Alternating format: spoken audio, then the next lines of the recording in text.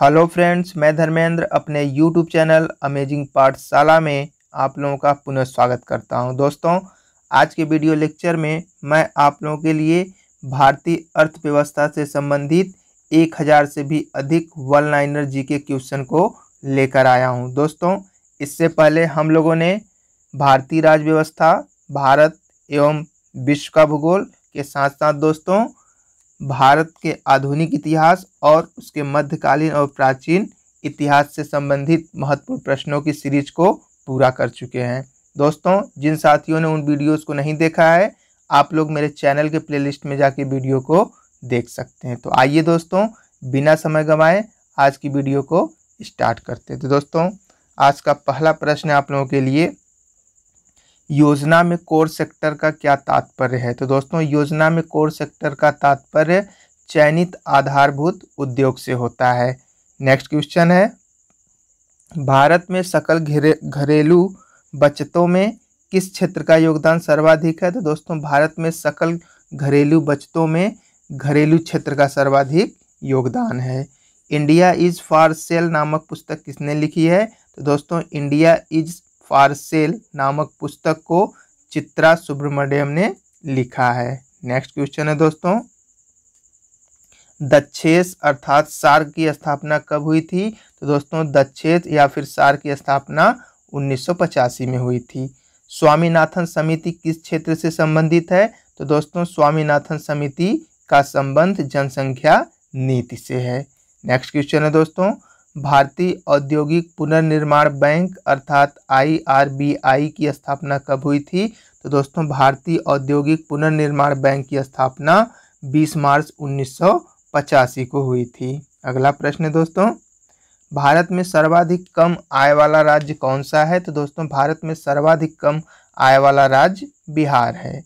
प्रथम पंचवर्षीय योजना में किस क्षेत्र को सर्वोच्च प्राथमिकता दी गई थी? तो दोस्तों, प्रथम पंचवर्षीय योजना में कृषि एवं सिंचाई क्षेत्र को सर्वाधिक प्राथमिकता दी गई थी।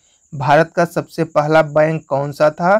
तो दोस्तों, भारत का सबसे पहला बैंक बैंक ऑफ़ हिंदुस्तान था। नेक्स्ट क्वेश्चन की तरफ़ बढ़ते हैं दोस्तों। Tata iron and steel company अर्थात टिस्को की स्थापना कब हुई थी? तो दोस्तों, Tata iron and steel company की स्थापना सन 1907 में हुई थी। भारत में सर्वाधिक गन्ना किस राज्य में उत्पन्न किया जाता है? तो दोस्तों, भारत में सर्वाधिक गन्ना उत्तर प्रदेश में उत्पन्न किया जाता है, अर्थात उसका उत्पादन किया जाता है। अगला प्रश्न मित्रों, स्वर्ण जयंती शहरी रोज़गार योजना कब से लागू की गई?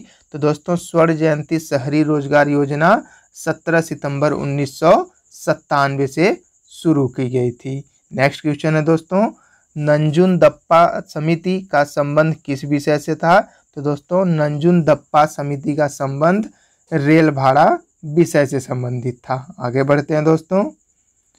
एशियाई विकास बैंक का मुख्यालय कहाँ स्थित है? तो दोस्तों, एशियाई विकास बैंक का मुख्यालय फिलीपींस की राजधानी मनीला में स्थित है। नेक्स्ट क्वेश्चन की तरफ़ बढ़ते हैं। भारत का सबसे बड़ा द्विपक्षीय दानदाता, अर्थात बायलेटरल डोनर कौन सा देश है? तो दोस्तों, भारत का सबसे बड़ा द्विपक्षीय दानदाता जापान है।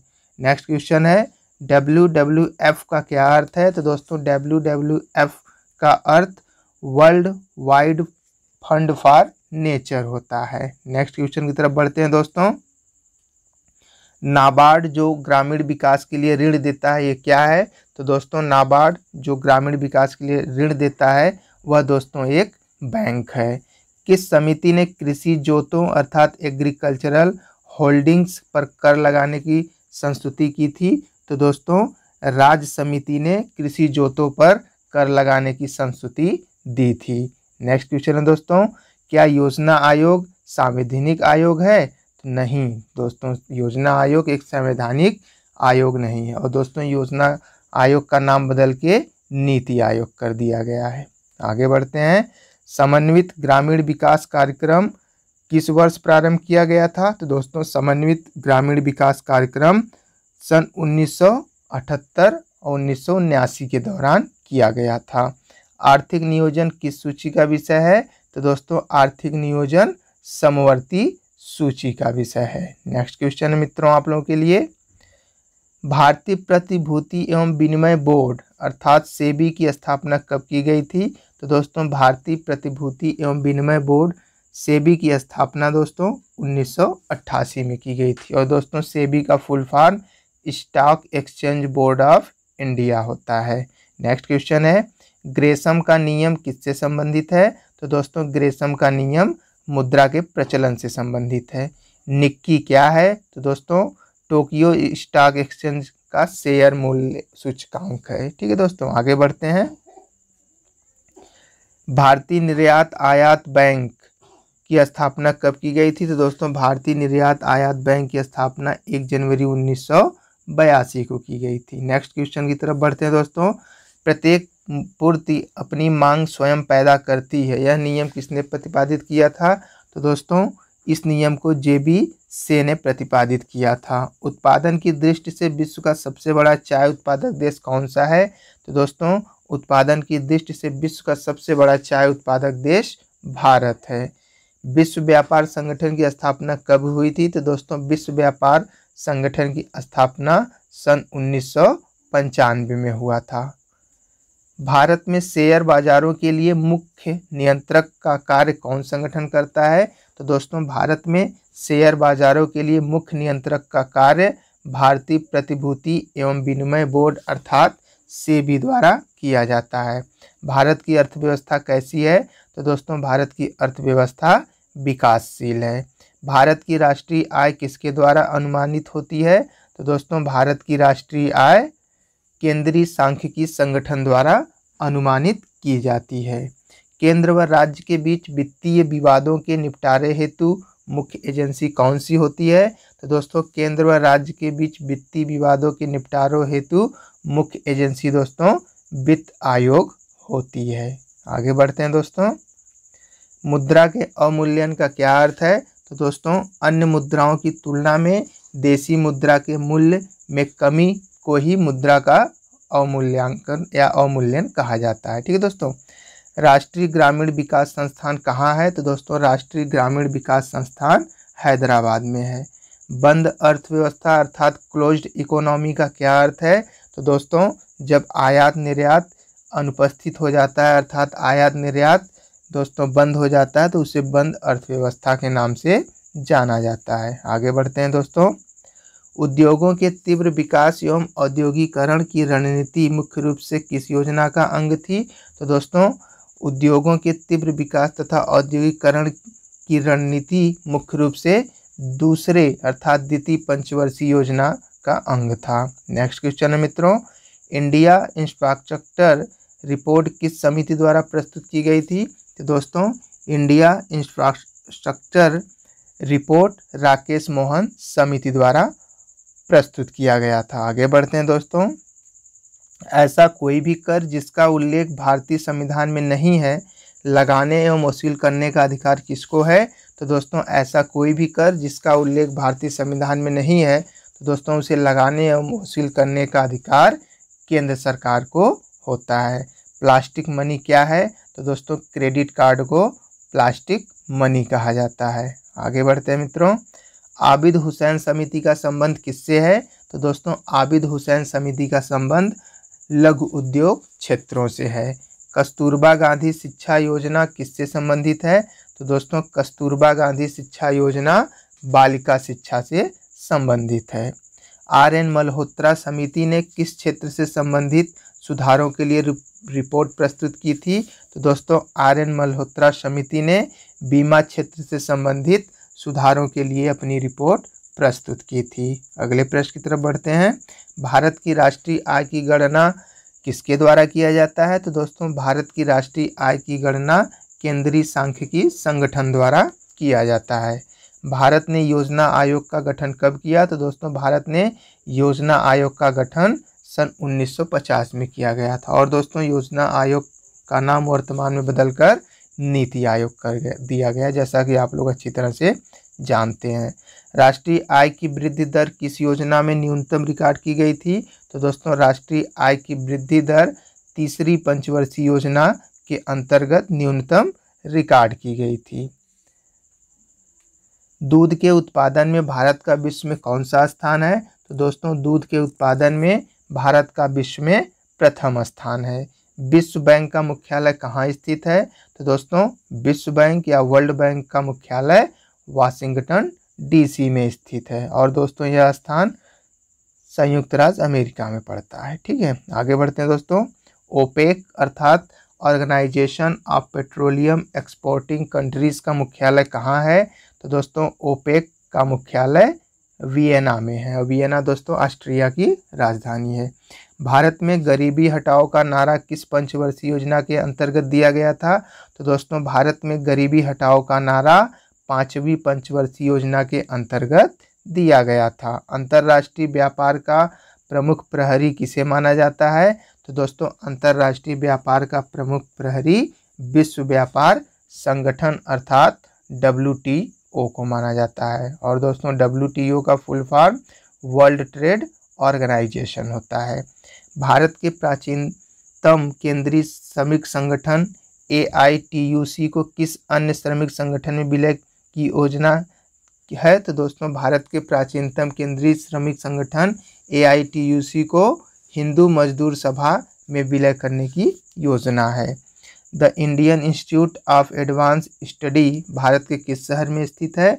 तो दोस्तों, the Indian institute of advance study Bharat के शिमला शहर में स्थित है। और शिमला दोस्तों, हिमाचल प्रदेश की राजधानी है। आगे बढ़ते हैं दोस्तों। अंतर्राष्ट्रीय श्रम संगठन अर्थात आईएलओ का मुख्यालय कहाँ है? तो दोस्तों, अंतर्राष्ट्रीय श्रम संगठन का मुख्यालय जेनेवा में स्थित है। यूरोपीय आर्थिक समुदाय का मुख्यालय कहाँ स्थित है? दोस्तों, यूरोपीय आर्थिक समुदाय का मुख्यालय बेल्जियम की राजधानी ब्रसल्स में स्थित है। मोटर कारों के उत्पादन के लिए प्रसिद्ध हिंदुस्तान मोटर्स लिमिटेड पर किस औद्योगिक घराने का आधिपत्य है?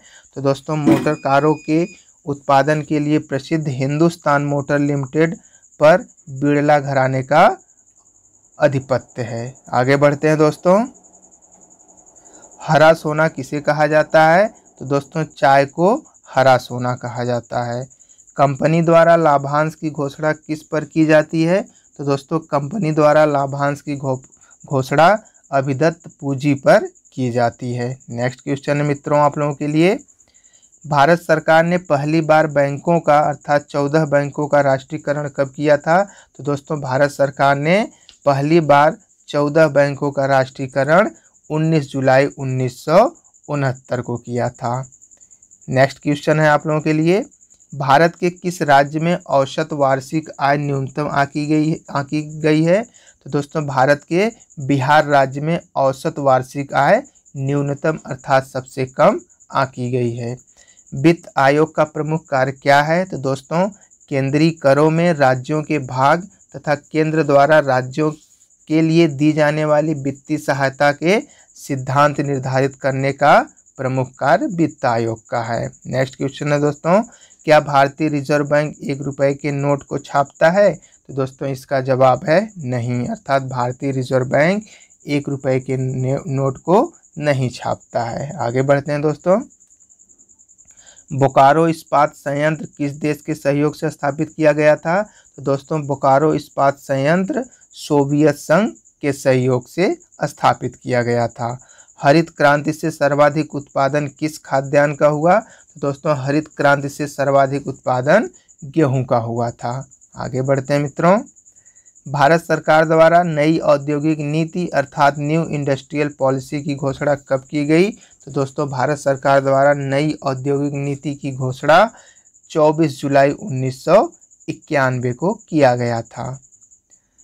जानकी रामन समिति का गठन किस उद्देश्य से किया गया था? तो दोस्तों, जानकी रामन समिति का गठन बैंकों की प्रतिभूतियों के सौदों की जाँच हेतु किया गया था। केंद्रीय राजस्व बोर्ड का विभाजन करके केंद्रीय उत्पाद शुल्क, सीमा शुल्क बोर्ड एवं केंद्रीय प्रत्यक्ष कर बोर्ड का गठन किस वर्ष किया गया था? तो दोस्तों, इसे उन्नीस में किया गया था। आगे बढ़ते हैं दोस्तों। अखिल भारतीय खादी एवं ग्रामोद्योग आयोग की स्थापना कब की गई थी? तो दोस्तों, अखिल भारतीय खादी एवं ग्रामोद्योग आयोग की स्थापना उन्नीस सौ सत्तावन में किया गया था।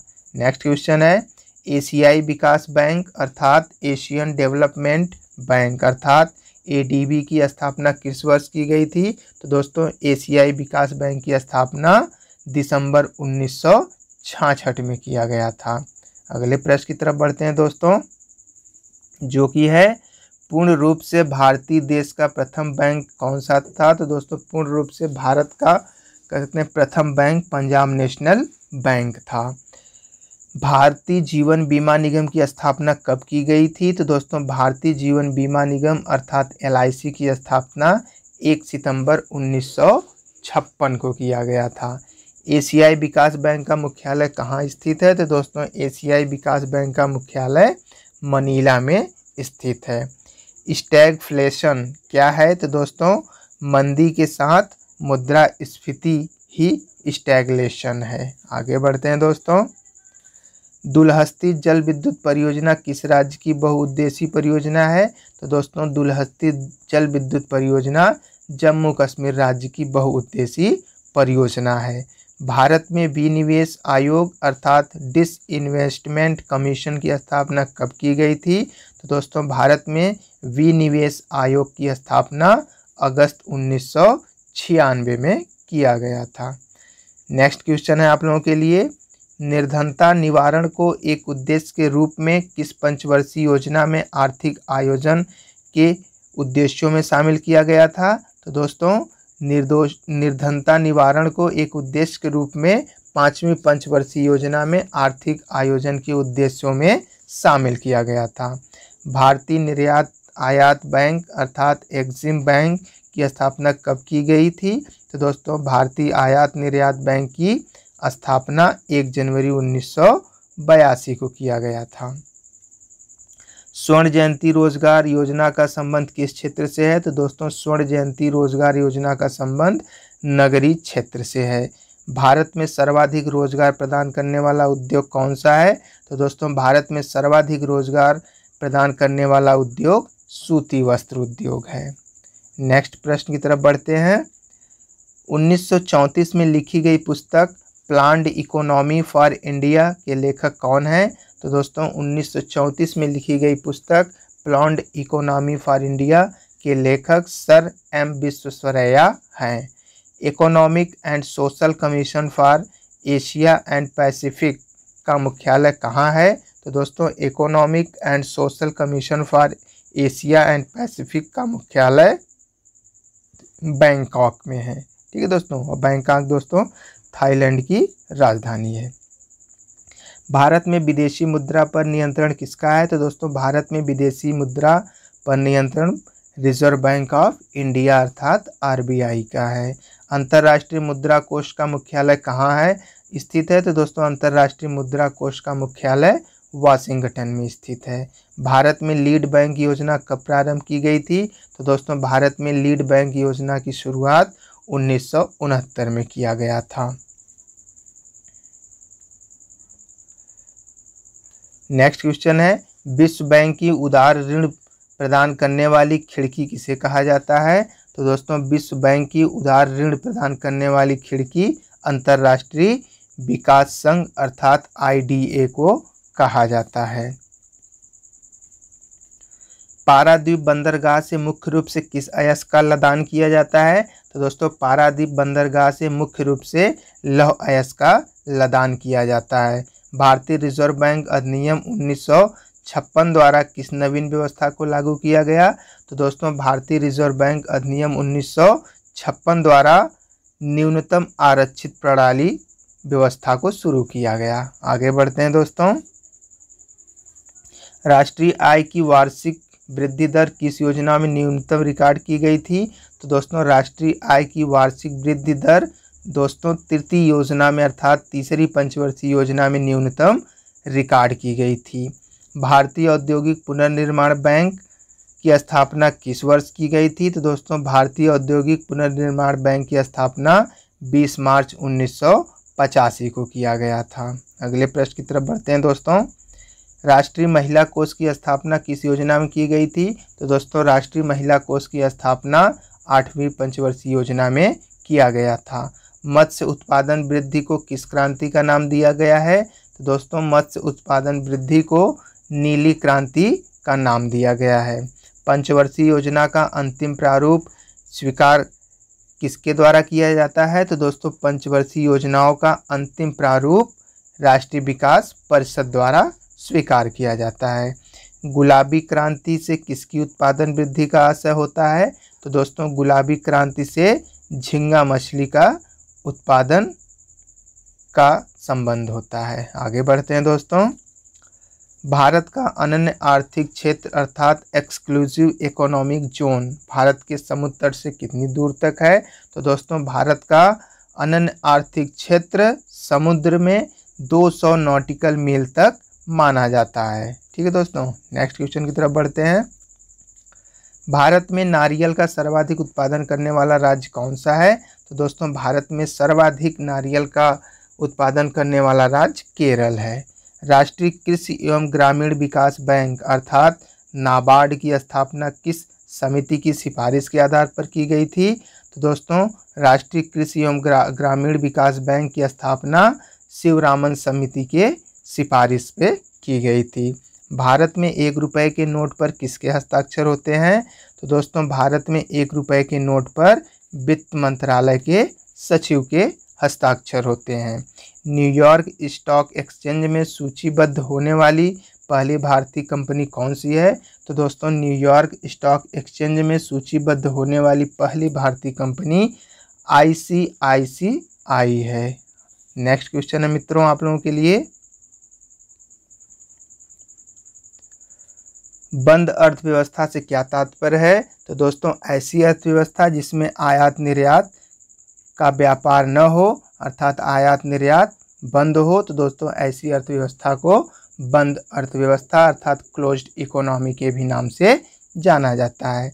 भारत की पहली जनगणना कब की गई थी? तो दोस्तों, भारत की पहली जनगणना अठारह सौ बहत्तर में किया गया था। अगले प्रश्न की तरफ़ बढ़ते हैं दोस्तों। भारत सरकार ने अपनी पहली लघु क्षेत्र औद्योगिक नीति की घोषणा कब की थी? तो दोस्तों, भारत सरकार ने अपनी पहली लघु क्षेत्र औद्योगिक नीति की घोषणा 6 अगस्त उन्नीस सौ इक्यानवे को किया था। विश्व जनसंख्या दिवस किस दिन मनाया जाता है? तो दोस्तों, विश्व जनसंख्या दिवस 11 जुलाई को मनाया जाता है। गरीबी हटाना तथा आत्मनिर्भरता की प्राप्ति किस पंचवर्षीय योजना का प्रमुख लक्ष्य था?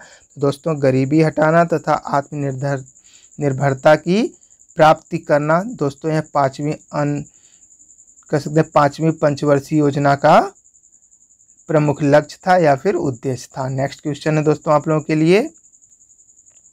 राष्ट्रीय सुरक्षा कोष की स्थापना कब की गई थी? तो दोस्तों, राष्ट्रीय सुरक्षा कोष की स्थापना 22 अक्टूबर उन्नीस सौ बासठ को किया गया था। बेकान 98 क्या है? तो दोस्तों, यह बैंक अर्थशास्त्रियों का एक सम्मेलन है। यूनिट ट्रस्ट ऑफ़ इंडिया का प्रमुख उद्देश्य क्या है? तो दोस्तों, यूनिट ट्रस्ट ऑफ़ इंडिया का प्रमुख उद्देश्य छोटी छोटी बचतों को प्रोत्साहित करने से है। अंतर्राष्ट्रीय मुद्रा कोष किस सम्मेलन की देन है? तो दोस्तों, अंतर्राष्ट्रीय मुद्रा कोष वेटनबुड सम्मेलन की देन है। अगला प्रश्न है मित्रों। शून्य आधारित बजट से क्या तात्पर्य होता है? तो दोस्तों, बिल्कुल नए सिरे से बजट को तैयार करना शून्य आधारित बजट कहलाता है। आगे बढ़ते मित्रों, काम के बदले अनाज कार्यक्रम की पंच, किस पंचवर्षीय योजना में प्रारंभ किया गया था? तो दोस्तों, काम के बदले अनाज कार्यक्रम पाँचवीं पंचवर्षीय योजना में प्रारंभ किया गया था। उपभोक्ता दिवस किस तारीख को मनाया जाता है? तो दोस्तों, उपभोक्ता दिवस प्रत्येक पंद्रह मार्च को मनाया जाता है। भारत में अफीम का सर्वाधिक उत्पादन किस राज्य में होता है? तो दोस्तों, भारत में अफीम का सर्वाधिक उत्पादन मध्य प्रदेश में होता है। आगे बढ़ते हैं दोस्तों। मुद्रा अवमूल्यन का आयात निर्यात पर क्या प्रभाव पड़ता है? तो दोस्तों, मुद्रा अवमूल्यन से आयात महँगा और निर्यात सस्ता हो जाता है। ब्याज का तरलता अधिगम अधिमान सिद्धांत किसने प्रतिपादित किया था? तो दोस्तों, ब्याज का तरलता अधिगम अधिमान सिद्धांत को किन्स महोदय ने प्रतिपादित किया था। अगला प्रश्न है आप लोगों के लिए। आईसीआईसीआई की स्थापना कब हुई? तो दोस्तों, आईसीआईसीआई की स्थापना 1955 में हुआ था।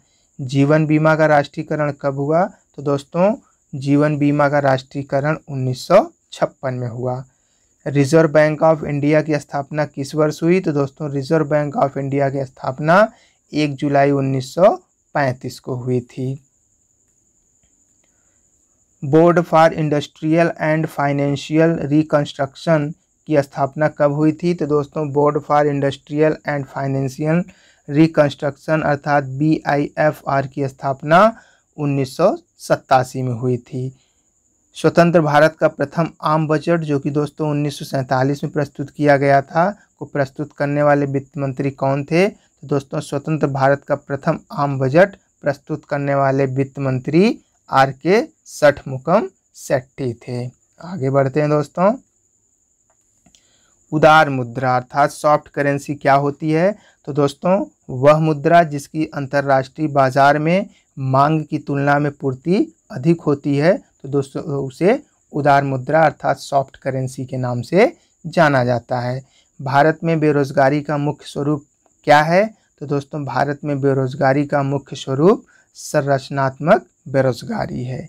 जी एट संगठन में सम्मिलित आठवां देश कौन सा है? तो दोस्तों जी एट संगठन में सम्मिलित आठवां देश रूस है। आगे बढ़ते हैं मित्रों।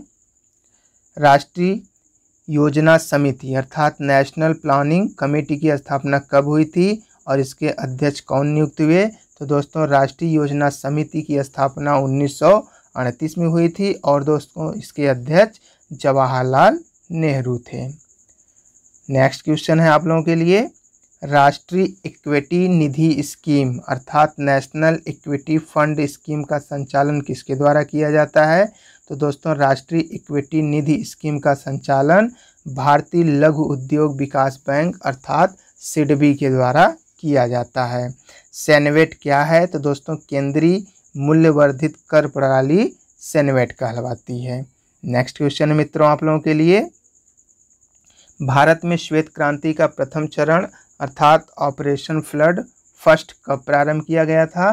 तो दोस्तों, भारत में श्वेत क्रांति का प्रथम चरण 1970 में प्रारंभ किया गया था। किस वर्ष Andhra bank, cooperative bank, new bank of India, oriental bank of commerce, Punjab and Sindh bank और विजया बैंक का राष्ट्रीयकरण हुआ? तो दोस्तों, इन सभी बैंकों का राष्ट्रीयकरण 15 अप्रैल 1980 को हुआ था।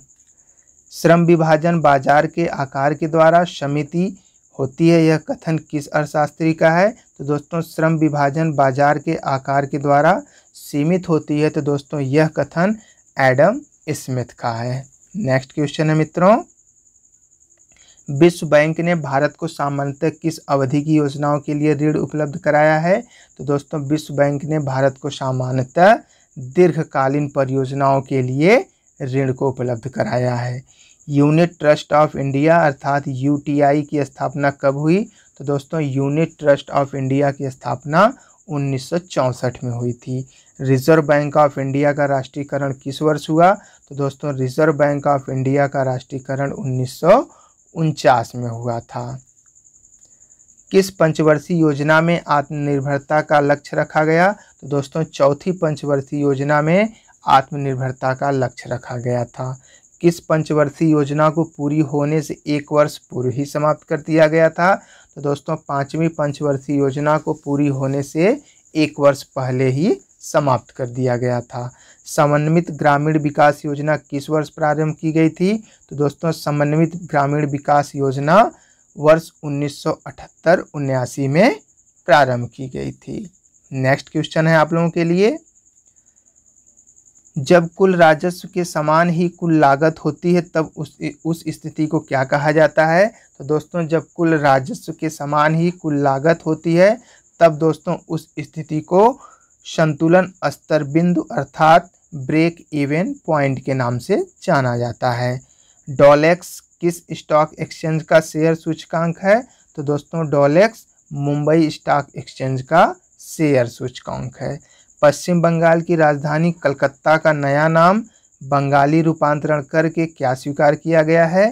तो दोस्तों, बंगाली पश्चिम बंगाल की राजधानी कलकत्ता का नया नाम दोस्तों बंगाली रूपांतरण करके अर्थात परिवर्तित करके दोस्तों उसका नाम कोलकाता रख दिया गया है। भारतीय औद्योगिक वित्त निगम अर्थात आईएफसीआई की स्थापना कब की गई थी? तो दोस्तों भारतीय औद्योगिक वित्त निगम की स्थापना वर्ष 1948 में की गई थी। प्रथम वित्त आयोग का गठन कब किया गया था? तो दोस्तों प्रथम वित्त आयोग का गठन उन्नीस सौ इक्यावन में किया गया था। सार्वजनिक क्षेत्र क्या कहलाता है? तो दोस्तों, देश के आर्थिक क्रियाकलाप का वह भाग जो सरकार के कार्य क्षेत्र में आता है, उसे दोस्तों सार्वजनिक क्षेत्र के नाम से जाना जाता है। अगले प्रश्न की तरफ़ बढ़ते हैं दोस्तों।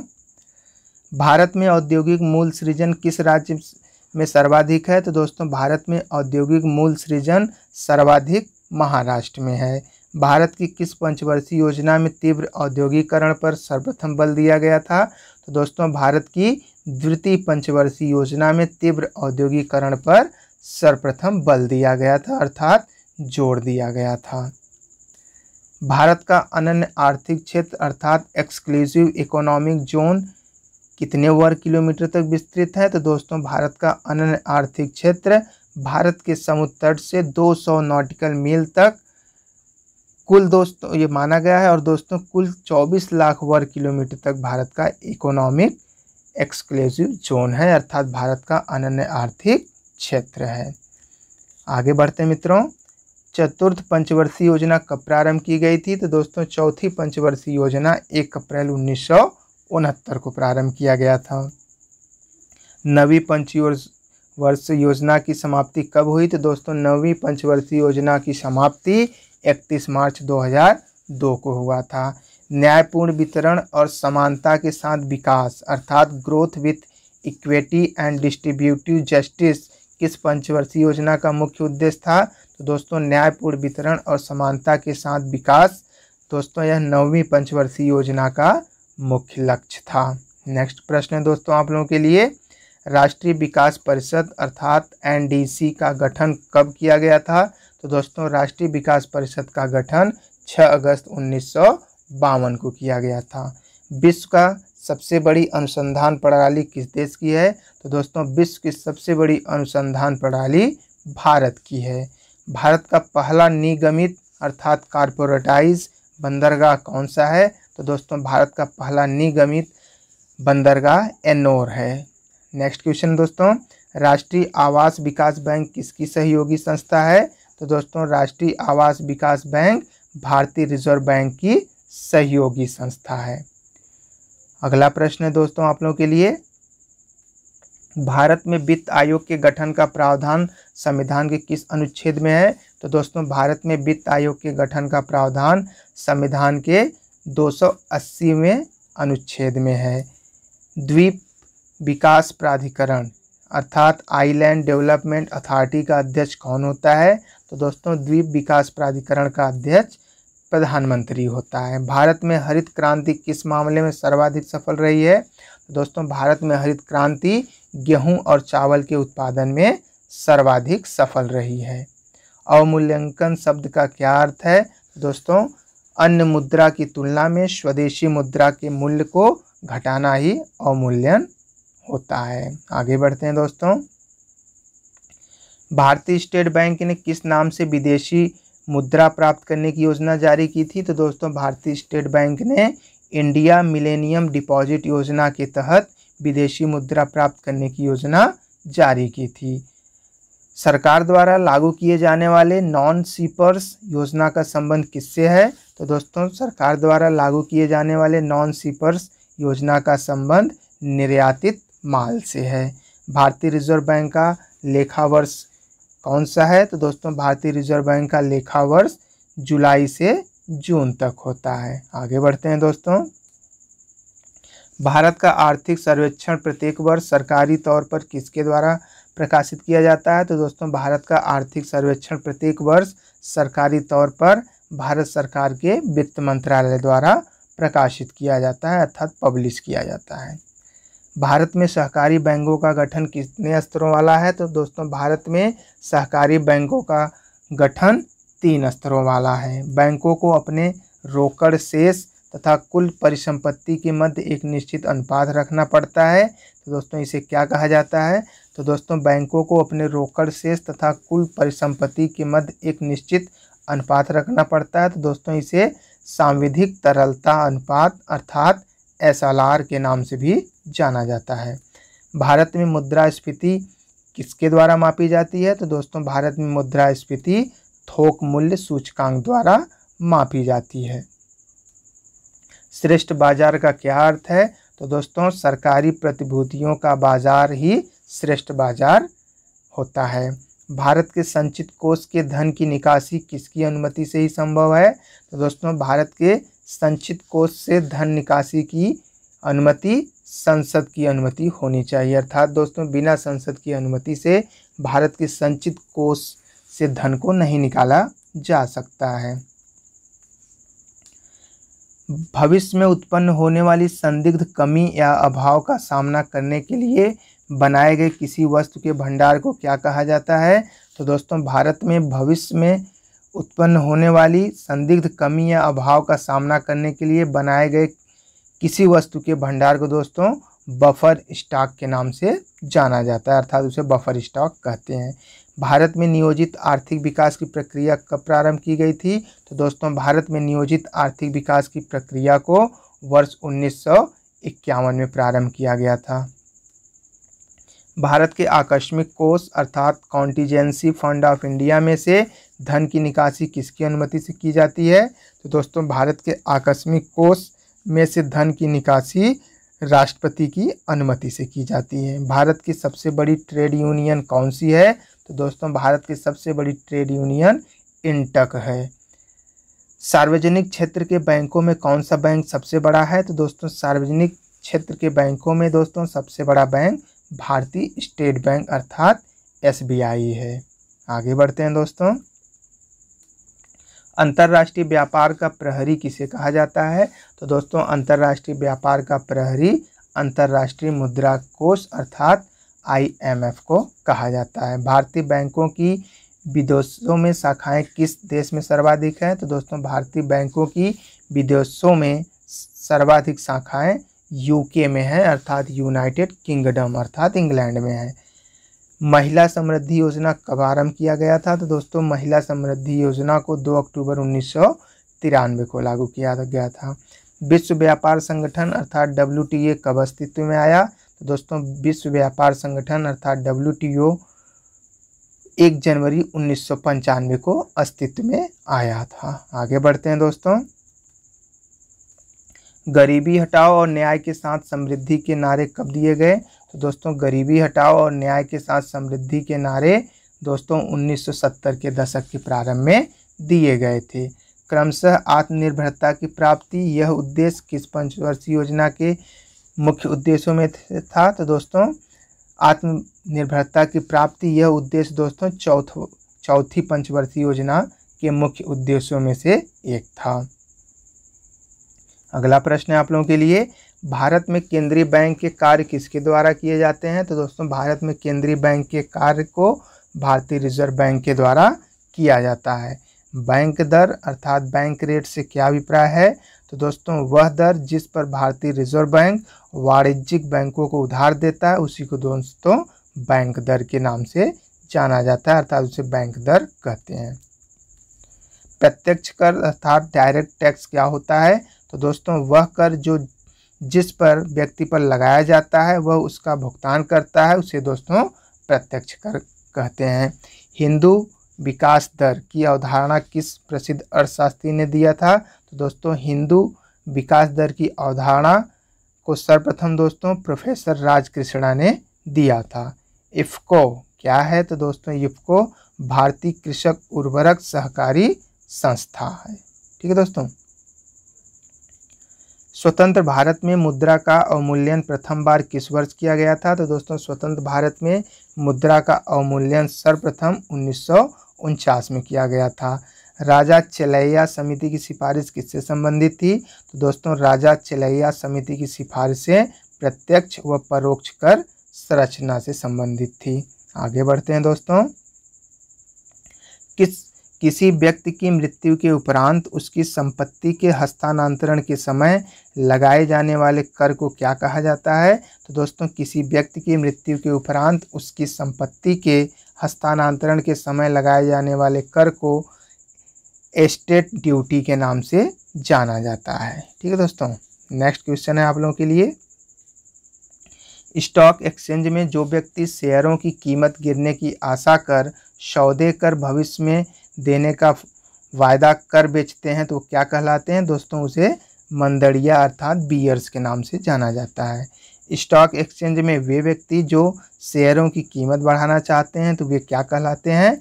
तो दोस्तों, वे बुल्स अर्थात तेजड़िया के नाम से जाने जाते हैं। नेक्स्ट क्वेश्चन है आप लोगों के लिए। अंतर्राष्ट्रीय बाज़ार में जिस मुद्रा की आपूर्ति मांग की अपेक्षा कम होती है तो कैसी मुद्रा कहलाती है? तो दोस्तों, अंतर्राष्ट्रीय बाज़ार में जिस मुद्रा की आपूर्ति मांग की अपेक्षा कम होती है तो दोस्तों, इस प्रकार की मुद्रा को हार्ड करेंसी कहा जाता है। मेरिनो ऊन उत्पादन की दृष्टि से सबसे महत्वपूर्ण मानी जाती है। यह किसकी नस्ल है?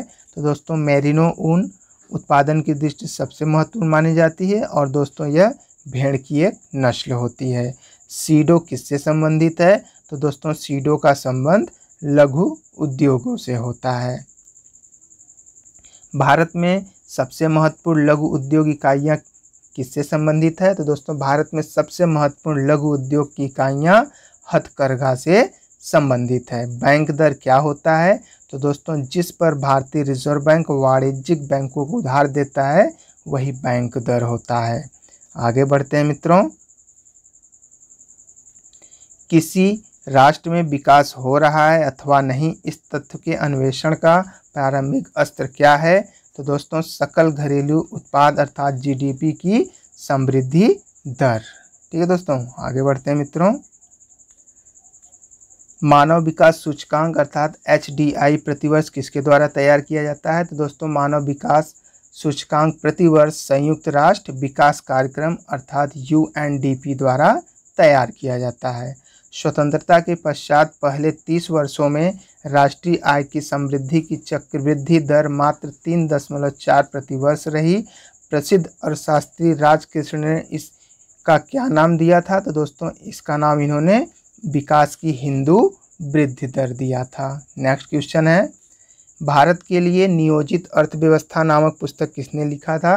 तो दोस्तों, भारत के लिए नियोजित अर्थव्यवस्था नामक पुस्तक को सर एम विश्वेश्वरैया ने लिखा था। आगे बढ़ते हैं दोस्तों। किस औद्योगिक नीति प्रस्ताव को भारत का आर्थिक संविधान भी कहते हैं? तो दोस्तों, औद्योगिक नीति 1956 को भारत का आर्थिक संविधान भी कहते हैं। किसी देश का जीवन स्तर प्रमुखतः किससे जाना जाता है? तो दोस्तों, प्रति व्यक्ति राष्ट्रीय आय के द्वारा किसी देश के जीवन स्तर को जाना जाता है। आगे बढ़ते हैं दोस्तों। क्राइशिल किसका संक्षिप्त रूप है? तो दोस्तों, credit rating information services of India limited. दोस्तों, ये क्राइसिल का फुल फॉर्म होता है। आगे बढ़ते हैं दोस्तों। भारत में केंद्रीय सरकार, सॉरी दोस्तों, भारत में केंद्र सरकार की आय के स्रोतों को संविधान की किस अनुसूची में उल्लिखित किया गया है? तो दोस्तों, भारत में केंद्र सरकार की आय के स्रोतों को संविधान की सातवीं अनुसूची में उल्लिखित किया गया है। भारत की संचित निधि से होने वाले व्यय और भारतीय व्ययों के लिए संसदीय मजदूरी मंजूरी किस विधेयक के माध्यम से प्राप्त की जाती है? तो दोस्तों, भारत की संचित निधि से होने वाले व्यय और भारित व्ययों के लिए संसदीय मंजूरी विनियोग विधेयक के द्वारा प्राप्त की जाती है। आगे बढ़ते हैं दोस्तों। 1955 में इम्पीरियल बैंक का राष्ट्रीयकरण कर किस बैंक की स्थापना की गई? तो दोस्तों 1955 में इम्पीरियल बैंक का राष्ट्रीयकरण करके स्टेट बैंक ऑफ़ इंडिया की स्थापना की गई थी। विनिर्मित वस्तुओं में सर्वाधिक आय किससे प्राप्त होता है? तो दोस्तों, विनिर्मित वस्तुओं में सर्वाधिक आय रत्न एवं आभूषण से प्राप्त होता है। अंतर्राष्ट्रीय पुनर्निर्माण एवं विकास बैंक को किस अन्य नाम से जाना जाता है? तो दोस्तों, अंतर्राष्ट्रीय पुनर्निर्माण एवं विकास बैंक को विश्व बैंक अर्थात वर्ल्ड बैंक के नाम से भी जाना जाता है। भारत में बचत का अधिकांश भाग किस क्षेत्र से प्राप्त होता है? दोस्तों, भारत में बचत का अधिकांश भाग घरेलू क्षेत्र से प्राप्त होता है।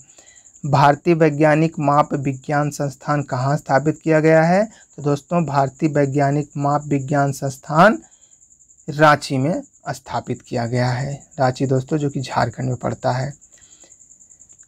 ग्रामीण विकास के लगभग सभी कार्यक्रमों को नवी पंचवर्षीय योजना में, किस योजना में समाहित कर दिया गया? तो दोस्तों, ग्रामीण विकास के लगभग सभी कार्यक्रमों को नवी पंचवर्षीय योजना में, स्वर्ण जयंती ग्राम स्वरोजगार योजना में समाहित कर दिया गया।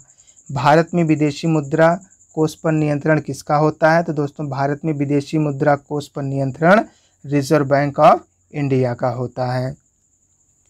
बैंक दर किस नीति से संबंधित है? तो दोस्तों बैंक दर का संबंध मौद्रिक नीति से होता है। नेक्स्ट क्वेश्चन है कोंकण रेल परियोजना किस वर्ष आरंभ की गई थी? तो दो, दोस्तों कोंकण रेल परियोजना को 1990 में शुरू किया गया था। किसी एक लेखा वर्ष में देश की अर्थव्यवस्था में उत्पादित सभी अंतिम वस्तुओं व सेवाओं का बाज़ार कीमत पर क्या मूल्य क्या कहलाता है? तो दोस्तों, किसी एक लेखा वर्ष में देश की अर्थव्यवस्था में उत्पादित सभी अंतिम वस्तुओं एवं सेवाओं का बाज़ार कीमत पर मूल्य दोस्तों सकल राष्ट्रीय आय कहलाता है। आगे बढ़ते हैं दोस्तों। पूंजी निर्माण के तीन चरण कौन कौन से हैं? तो दोस्तों, पूंजी निर्माण के तीन चरण होते हैं, जिनमें दोस्तों बचत का सृजन, बचतों का संगठन और वास्तविक निवेश होता है। भारत में ग्रामीण साख सुलभ करने वाले संस्थानों की शिखर संस्था कौन सी है? तो दोस्तों, भारत में ग्रामीण साख सुलभ करने वाले संस्थानों की सर्वोच्च शिखर संस्था दोस्तों नाबार्ड है। भारतीय आयात की सबसे बड़ी मद क्या है? तो दोस्तों, भारतीय आयात की सबसे बड़ी मद अर्थात पेट्रोलियम, तेल एवं लुब्रिकेंट है। आगे बढ़ते हैं मित्रों। अंतर्राष्ट्रीय व्यापार का निरपेक्ष लागत लाभ सिद्धांत किसने विकसित किया था? तो दोस्तों, अंतर्राष्ट्रीय व्यापार का निरपेक्ष लागत लाभ एडम स्मिथ ने विकसित किया था। अगला प्रश्न है आप लोगों के लिए। भारतीय रिज़र्व बैंक को, बैंकों को लाइसेंस प्रदान करने से लेकर उसके समापन तक के लिए अधिकार किस विनिमय यह अधिनियम द्वारा प्रदान किए गए हैं? तो दोस्तों, भारतीय रिज़र्व बैंक को, बैंकों को लाइसेंस प्रदान करने से लेकर उसके समापन तक के अधिकार को दोस्तों, बैंकिंग विनियमन अधिनियम उन्नीस सौ उनचास द्वारा प्रदान किया गया है। पंचवर्षीय योजनाओं को अनुमोदित करने वाली सर्वोच्च संस्था कौन सी है? तो दोस्तों, पंचवर्षीय योजनाओं को अनुमोदित करने वाली सर्वोच्च संस्था राष्ट्रीय विकास परिषद होती है। अगले प्रश्न की तरफ़ बढ़ते हैं दोस्तों। राष्ट्रीय उपभोक्ता विवाद निवारण आयोग का मुख्यालय कहाँ है? तो दोस्तों, राष्ट्रीय उपभोक्ता विवाद निवारण आयोग का मुख्यालय दिल्ली में है। उत्तर प्रदेश का निर्यात प्रसंस्करण केंद्र कहाँ स्थित है? तो दोस्तों, उत्तर प्रदेश का निर्यात प्रसंस्करण केंद्र दोस्तों नोएडा में स्थित है। भारत में जनसंख्या वृद्धि के संदर्भ में महान विभाजक वर्ष कौन सा था? तो दोस्तों, भारत में जनसंख्या वृद्धि के संदर्भ में महान विभाजक वर्ष अर्थात ईयर ऑफ़ ग्रेट डिवाइड दोस्तों, वर्ष 1921 था। नेक्स्ट क्वेश्चन है मित्रों, भारत की किस पंचवर्षीय योजना में तीव्र औद्योगिकरण पर सर्वप्रथम बल दिया गया था? तो दोस्तों, भारत की सातवीं पंचवर्षीय योजना में तीव्र औद्योगिकरण पर सर्वप्रथम बल दिया गया था। ग्रामीण विकास के लगभग सभी कार्यक्रमों को नवी पंचवर्षीय योजना में किस योजना में समाहित कर दिया गया? तो दोस्तों, ग्रामीण विकास के लगभग सभी कार्यक्रमों को नवी पंचवर्षीय योजना में स्वर्ण जयंती ग्राम स्वराज योज, योजना में शामिल कर दिया गया था। आगे बढ़ते हैं दोस्तों। चक्रीय बेरोजगारी से क्या तात्पर्य है? तो दोस्तों, व्यापार चक्रों के कारण उत्पन्न हुई बेरोजगारी को चक्रीय बेरोजगारी कहा जाता है। भारत की अर्थव्यवस्था को सबसे अच्छे ढंग से किन शब्दों में व्यक्त किया जा सकता है? तो दोस्तों, भारत की अर्थव्यवस्था को सबसे अच्छे ढंग से दोस्तों, मिश्रित अर्थव्यवस्था के माध्यम से व्यक्त किया जा सकता है। अर्थात दोस्तों, भारतीय जो अर्थव्यवस्था है, वह एक मिश्रित अर्थव्यवस्था है। भारत सरकार द्वारा प्लानिंग कमीशन की स्थापना किस वर्ष की गई थी? तो दोस्तों, भारत सरकार द्वारा प्लानिंग कमीशन की स्थापना दोस्तों 1950 में की गई थी। नेक्स्ट क्वेश्चन है आप लोगों के लिए। निजी क्षेत्र की कौन सी कंपनी बिक्री व शुद्ध लाभ दोनों ही दृष्टियों से देश की सबसे बड़ी कंपनी है? तो दोस्तों, निजी क्षेत्र की कह सकते हैं रिलायंस इंडस्ट्री लिमिटेड बिक्री व शुद्ध लाभ दोनों ही दृष्टि से देश की सबसे बड़ी कंपनी है। नेक्स्ट क्वेश्चन है दोस्तों आप लोगों के लिए। अंतर्राष्ट्रीय बाज़ार में, सॉरी दोस्तों, अंतर्राष्ट्रीय व्यापार में हाउसिंग का क्या अर्थ है? तो दोस्तों, अंतर्राष्ट्रीय व्यापार में हाउसिंग का अर्थ विदेशी विनिमय जोखिम से बचाव करने से होता है। भारतीय बाज़ारों में पीटर इंग्लैंड ब्रांड नाम से क्या उपलब्ध है? तो दोस्तों, भारतीय बाज़ारों में पीटर इंग्लैंड ब्रांड नाम से कमीजें उपलब्ध है। ठीक है दोस्तों, नेक्स्ट क्वेश्चन की तरफ़ बढ़ते हैं। भारत में औद्योगिक रुग्णता की समस्या के समाधान का उत्तरदायित्व किस संस्था को सौंपा गया है? तो दोस्तों, भारत में औद्योगिक रुग्णता की समस्या के समाधान का उत्तरदायित्व, औद्योगिक एवं वित्तीय पुनर्निर्माण उद्योग सॉरी दोस्तों board B I F R को सौंपा गया है। नेक्स्ट क्वेश्चन है दोस्तों आप लोगों के लिए। महल नोबिस अथवा नेहरू महल नोबिस कूटनीति पर भारत की किस पंचवर्षीय योजना का प्रारूप आधारित है? दोस्तों यह भारत के द्वितीय पंचवर्षीय योजना आधारित है। अदृश्य बेरोजगार अर्थात डिस्गाइज्ड अनएम्प्लॉयड व्यक्तियों की सीमांत उत्पादकता प्रायः कैसी होती है? दोस्तों, अदृश्य बेरोजगार व्यक्तियों की सीमांत उत्पादकता दोस्तों प्रायः शून्य अथवा ऋणात्मक होती है। नेक्स्ट प्रश्न की तरफ़ बढ़ते हैं। जब सीमांत आगम शून्य होता है तो मांग की लोच कितनी होती है? दोस्तों, जब सीमांत आगम शून्य होता है तो मांग की लोच इकाई के बराबर होती है। दास कैपिटल के लेखक कौन हैं? तो दोस्तों, दास कैपिटल के लेखक कार्ल्स मार्क्स हैं। आगे बढ़ते हैं दोस्तों। भारत की दूसरी पंचवर्षीय योजना का विकास किस रणनीति पर आधारित है? तो दोस्तों, भारत की दूसरी पंचवर्षीय योजना का विकास महालनोबिस रणनीति पर आधारित है। सातवीं पंचवर्षीय योजना के अंतर्गत सार्वजनिक क्षेत्र के किस क्षेत्र को सर्वोच्च वरीयता प्रदान की गई थी? तो दोस्तों, सातवीं पंचवर्षीय योजना के अंतर्गत सार्वजनिक क्षेत्र के, कह सकते हैं, ऊर्जा को सर्वोच्च वरीयता प्रदान की गई थी। ठीक है दोस्तों? तो दोस्तों, इस प्रकार से हम लोगों ने भारतीय अर्थव्यवस्था से संबंधित एक हज़ार से भी अधिक वन लाइनर जी के के प्रश्नों के सीरीज़ के फ़र्स्ट पार्ट को अध्ययन कर लिया है। तो दोस्तों, यह आप लोगों को वीडियो कैसा लगा, आप लोग इसके बारे में कमेंट करके ज़रूर बताएँ। और दोस्तों, इसमें सम्मिलित जो सभी प्रश्न थे, ये दोस्तों कहीं न कहीं परीक्षाओं में बार बार पूछे गए हैं और भी दोस्तों आगे पूछे जाने की पूरी संभावना है। तो दोस्तों, आज के वीडियो में बस इतना ही। मिलते हैं नेक्स्ट वीडियो में। तो दोस्तों, आज के लिए बस इतना ही। तब तक के लिए जय हिंद, जय भारत।